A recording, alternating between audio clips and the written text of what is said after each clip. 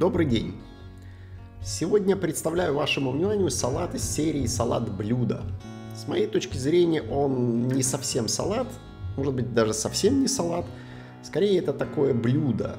Э, салат это все-таки что-то легкое, а этим салатом вполне можно пообедать или поужинать.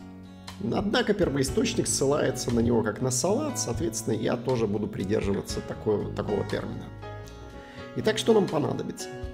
Рис 80 грамм на порцию я использую в пакетиках. Ветчина пару кусочков. Грамм 50 бана- э, баночного горошка. Помидорки черри, укроп, черный перец.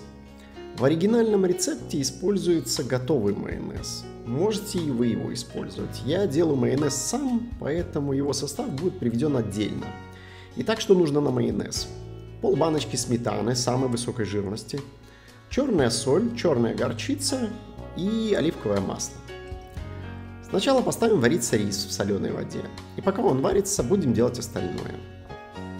Если вы используете покупной майонез, тогда используйте его. Если решили приготовить как я, тогда добавим сметану, черную горчицу, черную соль, столовую ложку оливкового масла и перемешаем.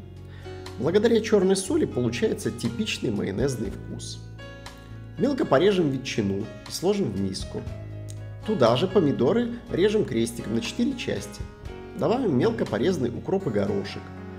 Примерно к этому времени уже должен свариться рис.